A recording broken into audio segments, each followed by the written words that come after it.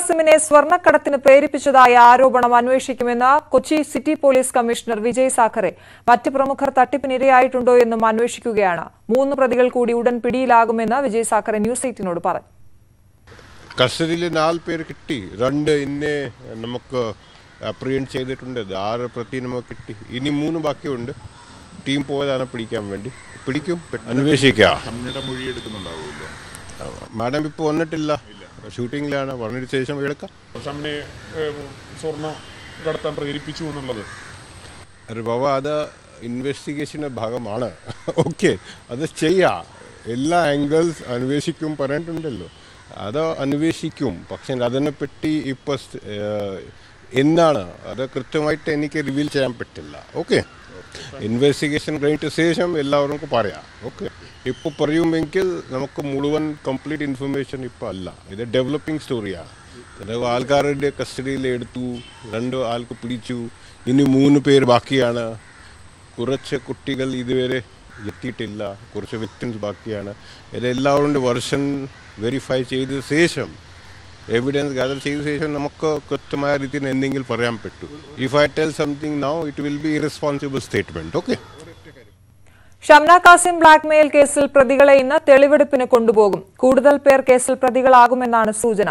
സംസ്ഥാനത്തിന് പുറത്തേക്കും അന്വേഷണം വ്യാപിപ്പിക്കാനും പോലീസ് തീരുമാനിച്ചിട്ടുണ്ട്. ഷംന കാസിമിനെ വിവാഹ തട്ടിപ്പിൽ കുടുക്കാൻ ശ്രമിച്ച സംഘത്തിന് സംസ്ഥാനത്തൊട്ടാകെ കണ്ണികളുണ്ടെന്നാണ് പോലീസിന്റെ നിഗമനം. ഒരു വർഷത്തോളമായി പലരെയും ഇവർ കെണിയിൽ വീഴ്ത്തിയിട്ടുണ്ട്. പെൺവാണിഭം പണം തട്ടിയെടുക്കൽ തുടങ്ങിയവയാണ് സംഘത്തിന്റെ പ്രവർത്തന രീതി. സ്വർണക്കടത്തിലേക്ക് ചുവടുവെക്കുന്നതിന്റെ ഭാഗമായാണ് പെൺകുട്ടികളെ വിവിധ കേന്ദ്രങ്ങളിൽ എത്തിച്ച് തടവിൽ പാർപ്പിച്ചത്.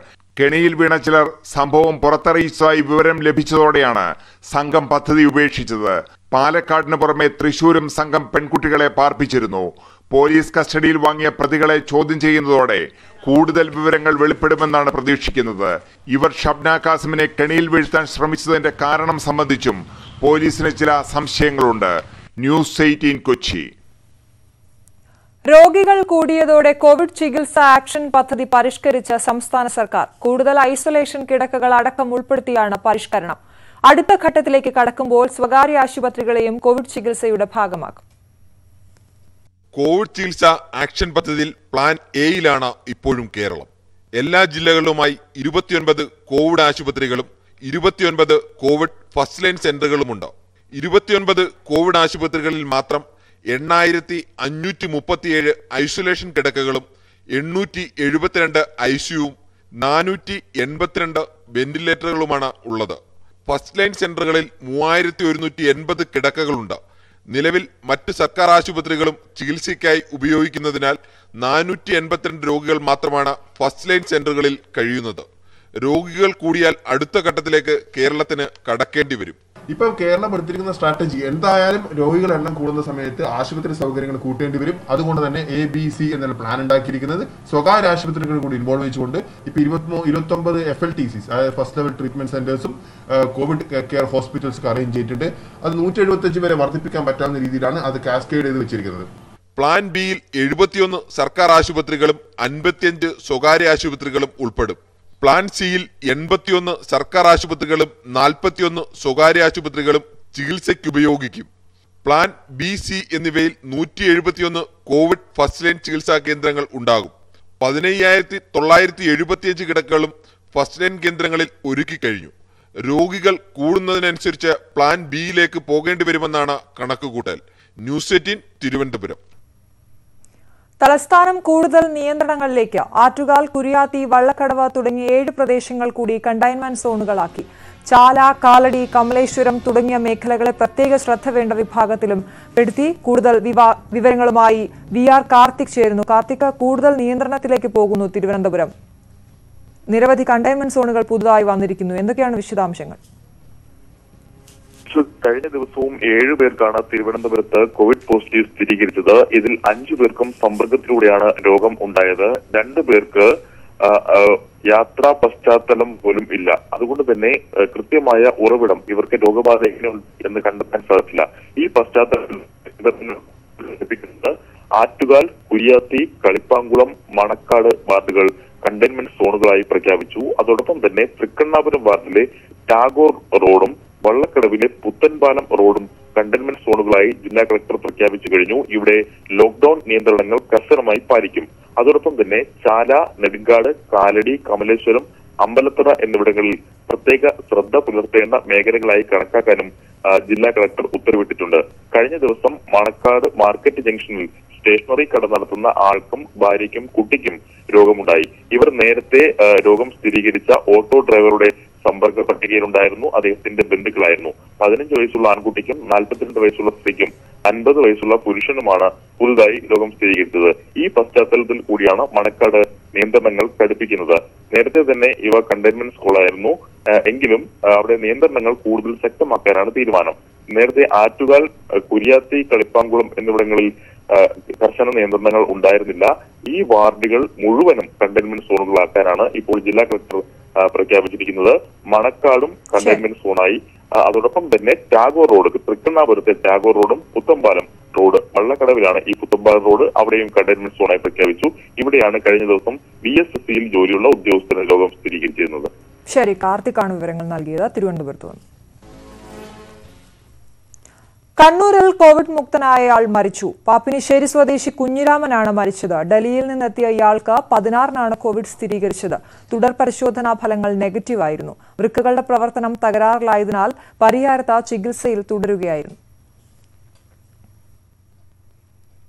കായംകുളത്തും അതീവ ജാഗ്രത. നിരീക്ഷണത്തിലിരിക്കെ കഴിഞ്ഞ ദിവസം കോവിഡ് സ്ഥിരീകരിച്ച അച്ഛനും മകനും പൊതുയിടങ്ങളിൽ ഇറങ്ങിയിരുന്നു എന്ന റിപ്പോർട്ടുകളെ തുടർന്നാണ് ജാഗ്രതാ നിർദ്ദേശം. പിതാവിന് ദേഹാസ്വാസ്ഥ്യം അനുഭവപ്പെട്ടതിനെ തുടർന്നാണ് ഇരുവരും കായംകുളം താലൂക്ക് ആശുപത്രിയിൽ എത്തിയത്. ലോകത്ത് കോവിഡ് ബാധിതരുടെ എണ്ണം തൊണ്ണൂറ്റിയൊൻപത് ലക്ഷത്തിലേക്ക് അടുക്കുന്നു. നാല് ദശാംശം ഒൻപത് അഞ്ച് ലക്ഷം പേർ ഇതുവരെ രോഗം ബാധിച്ച് മരിച്ചു. ഇരുപത്തിനാല് മണിക്കൂറിനിടെ ഒരു ലക്ഷത്തി തൊണ്ണൂറായിരത്തിലധികം പേർക്കാണ് രോഗം സ്ഥിരീകരിച്ചത്. അമേരിക്കയിലും ബ്രസീലിലും നാൽപ്പത്തി അയ്യായിരത്തിലധികം പുതിയ കേസുകൾ റിപ്പോർട്ട് ചെയ്തു. പുതിയ രോഗബാധിതരിലേറെയും യുവാക്കളാണെന്നാണ് കണക്കുകൾ സൂചിപ്പിക്കുന്നത്. ഇനിയെങ്കിലും കോവിഡിനെ കൂട്ടായി പ്രതിരോധിച്ചില്ലെങ്കിൽ സാഹചര്യം കൂടുതൽ ഗുരുതരമാകുമെന്ന് അമേരിക്കയ്ക്ക് ആരോഗ്യ വിദഗ്ധർ മുന്നറിയിപ്പ് നൽകി. രാജ്യത്ത് കോവിഡ് ബാധിതരുടെ എണ്ണം കാൽ കോടി കടന്ന സാഹചര്യത്തിലാണ് മുന്നറിയിപ്പ്. അതേസമയം അമേരിക്കയിൽ നിന്നുള്ള യാത്രക്കാർക്ക് വിലക്ക് ഏർപ്പെടുത്തിയതായി യൂറോപ്യൻ യൂണിയൻ അറിയിച്ചു.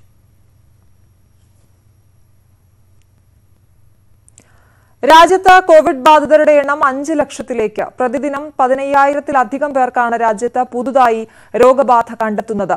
തമിഴ്നാട്ടിലും ഡൽഹിയിലും മഹാരാഷ്ട്രയിലും സ്ഥിതി അതീവ ഗുരുതരമായി തുടരുന്നു.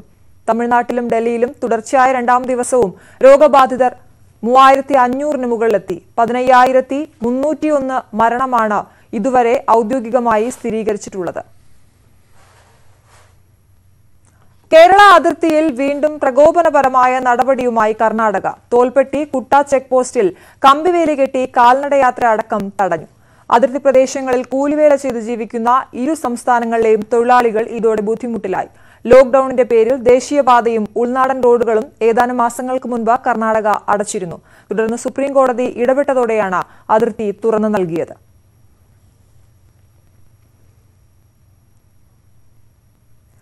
സംസ്ഥാനത്ത് പരക്കെ മഴ.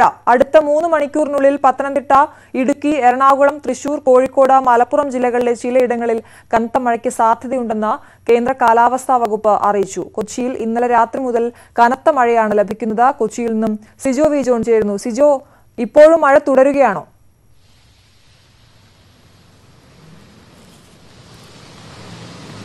അശ്വതി ഇപ്പോഴും മഴ തുടരുക തന്നെയാണ്. എറണാകുളത്ത് യെല്ലോ അലേർട്ട് നിലനിൽക്കുന്നുണ്ട്. അതുകൊണ്ട് തന്നെ കഴിഞ്ഞ ദിവസങ്ങളായി തന്നെ ചെറിയ രീതിയിലുള്ള മഴയുണ്ട്. ഇന്നലെ രാത്രിയിൽ ശക്തമായ മഴയായിരുന്നു. എന്നാൽ രാവിലെ അത് കാര്യമായ രീതിയിലില്ല. ഇപ്പോൾ അത് കുറഞ്ഞു നിൽക്കുന്ന അവസ്ഥയാണ്. എന്തായാലും എല്ലാ എല്ലാ നിലനിൽക്കുന്ന ഒരു സാഹചര്യത്തിൽ വരുന്ന മണിക്കൂറുകളിൽ ശക്തമായ മഴ എറണാകുളത്ത് ഉണ്ടാകുമെന്നാണ് വ്യക്തമാക്കിയിരിക്കുന്നത്. എന്തായാലും എറണാകുളം കൊച്ചി നഗരത്തിൽ മാത്രമല്ല മറ്റ് സ്ഥലത്ത് പുറത്തും പ്രദേശത്തേക്കും മൂവാറ്റുപുഴ പെരുമ്പാവൂർ ഉൾപ്പെടെയുള്ള സ്ഥലങ്ങളിലേക്കൊക്കെ വലിയ രീതിയിൽ തന്നെ മഴയുണ്ട് എന്നാണ് അറിയാൻ സാധിക്കുന്നത് എന്തായാലും കഴിഞ്ഞ ദിവസങ്ങളിലൊക്കെ തന്നെ നേരിയ രീതിയിലുള്ള മഴയാണെങ്കിൽ പോലും ശക്തമായ കടൽക്ഷോഭം ചെല്ലാനത്ത് ഉൾപ്പെടെ ഉണ്ടായിരുന്നു. ഇന്നലെയും ചെല്ലാനത്ത് കടൽക്ഷോഭം രൂക്ഷമാണ്. ഈ ഒരു സാഹചര്യത്തിൽ മത്സ്യത്തൊഴിലാളികൾക്ക് കടലിൽ പോകുന്നതിന് മുന്നറിയിപ്പും നൽകുകയും ചെയ്തിട്ടുണ്ട്.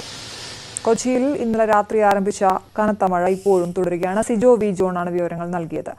ആലപ്പുഴ തൃക്കുന്നപ്പുഴ പുറക്കാട് ഗ്രാമപഞ്ചായത്ത് അതിർത്തികളിൽ ജില്ലാ കളക്ടർ നിരോധനാജ്ഞ പ്രഖ്യാപിച്ചു. തോട്ടപ്പള്ളി സ്പിൽവേയുടെ ആഴം കൂട്ടലിനെതിരായ പ്രതിഷേധം തുടരുന്ന സാഹചര്യത്തിലാണ് നടപടി.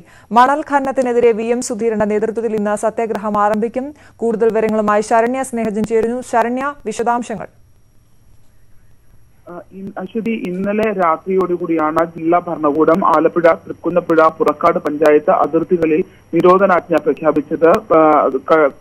തോട്ടപ്പള്ളി സ്പിൽവേയുടെ ആഴംകൂട്ടലുമായി ബന്ധപ്പെട്ട് സംയുക്ത സമരസമിതിയുടെ നേതൃത്വത്തിൽ ദീർഘ കാലയളവിലായി സമരം നടന്നു വരികയാണ്. മാത്രമല്ല കഴിഞ്ഞ ദിവസങ്ങളിൽ മനുഷ്യ ചങ്ങലടക്കം തീർക്കുന്ന ഒരു സാഹചര്യം ഉണ്ടായിരുന്നു. ഇതിൽ നിരവധി ആളുകളാണ് പങ്കെടുത്തത്. തുടർന്ന് ഈ സ്ഥലത്ത് കോവിഡ് അതായത് തൃക്കുന്നപ്പുഴ മുതലായ സ്ഥലങ്ങളിൽ ധാരാളം കോവിഡ് റിപ്പോർട്ട് ചെയ്ത സ്ഥലങ്ങളാണ്. അതുകൊണ്ട് തന്നെ ഈ കോവിഡ് വ്യാപനത്തിന്റെ സാധ്യത നിലനിൽക്കുന്നു. ഒപ്പം തന്നെ സംഘർഷ സാധ്യത അതായത് ഇതുമായി സമരവുമായി ബന്ധപ്പെട്ടുള്ള സംഘർഷ സാധ്യത ഉണ്ട് എന്ന് കണക്കാക്കിയാണ് ഇന്നലെ രാത്രിയോടുകൂടി നിരോധനാജ്ഞ പ്രഖ്യാപിച്ചത്. എന്നാൽ രാഷ്ട്രീയ പ്രേരിതമാണ് നിരോധനാജ്ഞ എന്നാണ് D C C president N Liju പ്രതികരിച്ചത്. കാരണം ഇന്ന് വി എം സുധീറിന്റെ നേതൃത്വത്തിൽ കരിമണൽ ഖനനത്തിനെതിരെ സത്യാഗ്രഹം തുടങ്ങാനിരിക്കുന്ന പശ്ചാത്തലത്തിലാണ് ഇത്തരത്തിലൊരു നിരോധനാജ്ഞ പ്രഖ്യാപിച്ചത് എന്നാണ് അറിയിച്ചിട്ടുള്ളത്. എന്തായാലും ഇത് നിരോധനാജ്ഞ മറികടന്നുകൊണ്ട് ഇന്ന് പത്ത് മണിയോടുകൂടി സത്യാഗ്രഹം വി എം സുധീറിന്റെ നേതൃത്വത്തിൽ ആരംഭിക്കുമെന്നാണ് കോൺഗ്രസ് വ്യക്തമാക്കിയിട്ടുള്ളത്. ശരി ശരണ്യ സ്നേഹജനാണ് ആലപ്പുഴയിൽ നിന്നും വിവരങ്ങൾ നൽകിയത്. പ്രവാസികളുടെ മടങ്ങിവരവുമായി ബന്ധപ്പെട്ട വിഷയത്തിൽ കേന്ദ്രമന്ത്രി വി മുരളീധരനും സംസ്ഥാന സർക്കാരും തമ്മിലുള്ള വാക്പോര് തുടരുന്നു. വി മുരളീധരനെ രൂക്ഷമായ ഭാഷയിൽ വിമർശിച്ച ദേശാഭിമാനി മുഖപ്രസംഗം എഴുതി. വി മുരളീധരൻ കേരളത്തിന് ബാധ്യതയാകരുതെന്നും കേരളത്തെ സഹായിക്കുന്ന ഒന്നും വി മുരളീധരന്റെ ഭാഗത്ത് നിന്ന് ഉണ്ടാകുന്നില്ലെന്നുമാണ് വിമർശനം.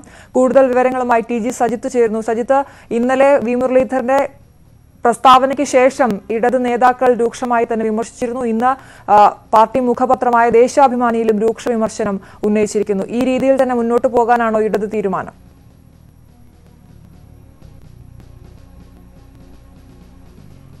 രൂക്ഷ വിമർശമാണ് ദേശാഭിമാനി മുഖപ്രസംഗത്തിലൂടെ ഉന്നയിക്കുന്നത് കേന്ദ്രമന്ത്രി വി മുരളീധരനെതിരെ. കേന്ദ്രമന്ത്രി മുരളീധരൻ പ്രബുദ്ധ കേരളത്തിന്റെ ബാധ്യതയാണെന്ന രൂക്ഷമായ വിമർശനം ഈ മുഖപ്രസംഗത്തിലുണ്ട്. ഒപ്പം തന്നെ തരംതാണ പ്രസ്താവനകൾ മന്ത്രി കേന്ദ്രമന്ത്രി നടത്തുന്നു. ഒരു സാധാരണ രാഷ്ട്രീയക്കാരൻ എന്നതിലുപരി കേന്ദ്രമന്ത്രി എന്ന നിലവാരത്തിലേക്ക് ഉയരാൻ വി മുരളീധരന് ഇതുവരെയും കഴിഞ്ഞിട്ടില്ല. തന്റെ ഓഫീസിൽ വിവരമുള്ളവരെ നിയമിക്കാൻ കേന്ദ്രമന്ത്രി തയ്യാറാവണം. മുൻ കോൺഗ്രസ് മന്ത്രിയുടെ ഓഫീസിലിരുന്നവർ തന്നെയാണ് ഇപ്പോൾ മന്ത്രിയുടെ ഓഫീസിലിരിക്കുന്നത്. അത് ബി ജെ പി ക്യാമ്പുകൾ തന്നെ ഉയർത്തുന്നതാണ്. എന്തിനാണ് കേരളം എന്ന പേര് കേൾക്കുമ്പോൾ ഇത്രയധികം വിമർശനം ഉണ്ടാവുന്നത് മന്ത്രിയുടെ ഭാഗത്ത് നിന്ന് എന്നതാണ് ദേശാഭിമാനി ചോദിക്കുന്നത്. ഒപ്പം തന്നെ കേരളത്തെ ഇകഴ്ത്തിക്കാട്ടാൻ ബോധപൂർവമായ ശ്രമങ്ങൾ നടത്തുന്നു. സ്വന്തം സംസ്ഥാനത്തെ കേരളത്തിലെ ബി ജെ പിക്കാർ പോലും മന്ത്രിയെ അംഗീകരിക്കാത്തതിന്റെ വിമർശനമാണോ ഇത്തരത്തിലുള്ള പ്രസ്താവനയ്ക്ക് ഇടയാക്കുന്നത് എന്നതാണ് ഈ ലേഖനത്തിലൂടെ ചോദിക്കുന്നത്.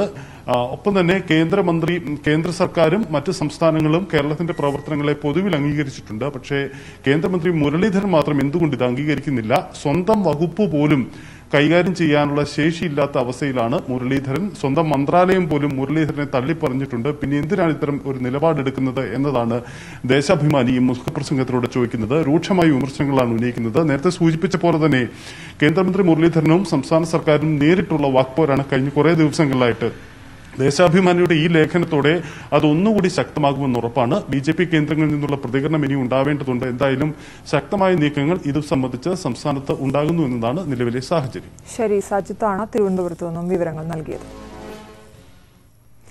ഇത്തിഹാദ് എയർലൈൻസിന് ആദ്യ ചാർട്ടേഡ് വിമാനം ഇന്നലെ കണ്ണൂർ രാജ്യാന്തര വിമാനത്താവളത്തിലെത്തി. അബുദാബിയിൽ നിന്ന് നൂറ്റി എഴുപത്തിനാല് യാത്രക്കാരുമായാണ് വിമാനം ലാൻഡ് ചെയ്തത്. കണ്ണൂരിൽ ഇറങ്ങുന്ന എട്ടാമത്തെ വിദേശ കമ്പനി വിമാനമാണ് ഇത്തിഹാദ്. ഇന്നലെ പന്ത്രണ്ട് വിമാനങ്ങളിലായി രണ്ടായിരത്തോളം പ്രവാസികളാണ് കണ്ണൂർ അന്താരാഷ്ട്ര വിമാനത്താവളം വഴി നാട്ടിലെത്തിയത്. ഇന്നലെ മുതൽ യാത്രക്കാർക്ക് റാപ്പിഡ് ടെസ്റ്റ് ആരംഭിച്ചിട്ടുണ്ട്. ഇതിനായി ആറ് മെഡിക്കൽ ഡെസ്ക് ഒരുക്കിയിട്ടുണ്ട്. കോവിഡിനെ തുടർന്ന് നാട്ടിലേക്ക് വരാനാകാതെ ഉക്രൈനിൽ കുടുങ്ങിയ മലയാളി മെഡിക്കൽ വിദ്യാർത്ഥികളെ നാട്ടിലെത്തിക്കുന്നു. വിവിധ സർവകലാശാലകളിലെ മുന്നൂറിലധികം വിദ്യാർത്ഥികളെ ഇന്ന് പുലർച്ചെ കൊച്ചി അന്താരാഷ്ട്ര വിമാനത്താവളത്തിൽ എത്തിച്ചു. ഉക്രൈനിൽ നിന്നും കേരളത്തിലേക്ക് വന്ന ആദ്യ ചാർട്ടേഡ് വിമാനമാണിത്. വന്ദേ ഭാരത് മിഷന്റെ ഭാഗമായി രണ്ട് ഘട്ടമായി ഇരുന്നൂറ്റി കുട്ടികളെ എത്തിച്ചിരുന്നു. മേക്ക് വേ എഡ്യൂക്കേഷൻ പ്രൈവറ്റ് ലിമിറ്റഡിന്റെ നേതൃത്വത്തിലാണ് ബാക്കി വിദ്യാർത്ഥികളെയും തിരിച്ചെത്തിക്കുന്നത്. ജീവിതം തേടി മണലാരണ്യത്തിൽ പോയ സാലിഖ് ആ മണൽത്തരികളിലൊന്നായി. ഇനി അത് ഒരു ഉത്തരം കിട്ടാത്ത ചോദ്യമാണ് ഇവർക്ക്. അഖിലൂട്ടുപാർക്കൊപ്പം C V Anumod news eighteen. സന്നദ്ധ പ്രവർത്തകരുടെ സേവനം ലഭ്യമല്ലാത്തതിനാൽ ക്വാറന്റീൻ കേന്ദ്രങ്ങളിൽ തദ്ദേശ സ്ഥാപനങ്ങളിലെ ജീവനക്കാരെ നിയമിച്ച കോഴിക്കോട് ജില്ലാ കളക്ടറുടെ ഉത്തരവ്. ജീവനക്കാർക്ക് ആവശ്യമായ സുരക്ഷാ ഉപകരണങ്ങൾ തദ്ദേശ സ്ഥാപനങ്ങൾ നൽകണമെന്നും ഉത്തരവിൽ പറയുന്നു. ആവശ്യത്തിന് സന്നദ്ധ പ്രവർത്തകരില്ലാത്തതിനാൽ കോഴിക്കോട് നഗരത്തിലെ നിരവധി ക്വാറന്റീൻ കേന്ദ്രങ്ങൾ അടച്ചുപൂട്ടിയിരുന്നു. മടങ്ങിവരുന്ന പ്രവാസികൾക്ക് സ്വന്തം തദ്ദേശ സ്ഥാപന പരിധിയിൽ ക്വാറന്റൈൻ സൗകര്യം ഒരുക്കണമെന്നാണ് കോഴിക്കോട് ജില്ലാ കളക്ടർ എ സാംബശിവറാവുവിന്റെ ഉത്തരവ്. സന്നദ്ധ പ്രവർത്തകർ ലഭ്യമല്ലാത്തത് കാരണം കോർപ്പറേഷൻ പരിധിയിൽ ക്വാറന്റീൻ കേന്ദ്രങ്ങൾ പലതും അടച്ചുപൂട്ടിയ സാഹചര്യത്തിലാണ് ഉത്തരവ്. ഇവിടെ സേവന പ്രവർത്തനങ്ങൾക്കായി തദ്ദേശ സ്ഥാപനങ്ങളിലെ ജീവനക്കാരെ വിനിയോഗിക്കണമെന്നും ഉത്തരവിൽ പറയുന്നു. സേവനത്തിനെത്തുന്നവർക്ക് ആവശ്യമായ സുരക്ഷാ ഉപകരണങ്ങൾ ഹെൽത്ത് ഓഫീസർമാർ ലഭ്യമാക്കണം. ക്വാറന്റീൻ കേന്ദ്രങ്ങളുടെ നടത്തിപ്പിന് തദ്ദേശ സ്ഥാപന മേധാവികൾ ചെയർമാനായി മാനേജ്മെന്റ് കമ്മിറ്റിയെ നിശ്ചയിക്കണമെന്നും കലക്ടറുടെ ഉത്തരവിൽ പറയുന്നു. സന്നദ്ധ പ്രവർത്തകരെ ലഭിക്കാത്തതിന്റെ പ്രതിസന്ധി പുതിയ തീരുമാനത്തിലൂടെ മറികടക്കാനാകുമെന്ന് കോർപ്പറേഷൻ ഹെൽത്ത് ഓഫീസർ വ്യക്തമാക്കി. അപ്പോൾ കുറച്ച് ആൾക്കാരെ മാത്രം നോക്കാനുള്ള സമയത്ത് നമുക്ക് പ്രശ്നങ്ങൾ കുറവായിരിക്കും. നോക്കുന്നതിന് അതുപോലെ തന്നെ കുറഞ്ഞ ആൾക്കാർ മതി. ഈ തരത്തിലുള്ള ഒരു സെൻട്രലൈസ്ഡ് ഫെസിലിറ്റിയുടെ ആവശ്യം വരുന്നില്ല. നഗരങ്ങളിലെ ക്വാറന്റീൻ സൗകര്യം ലഭിക്കാത്തതിനെ തുടർന്ന് കഴിഞ്ഞ ദിവസം കോഴിക്കോട് പ്രവാസികളുടെ പ്രതിഷേധമുണ്ടായിരുന്നു. ഇതേ തുടർന്നാണ് ജില്ലാ കളക്ടറുടെ അടിയന്തര ഉത്തരവ്. Muhammad Shaheed news eighteen Kozhikode.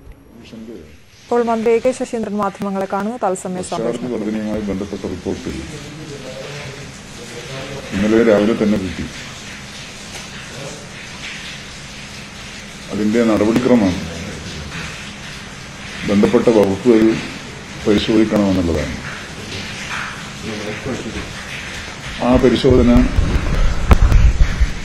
ഇന്ന് പൂർത്തിയാക്കും.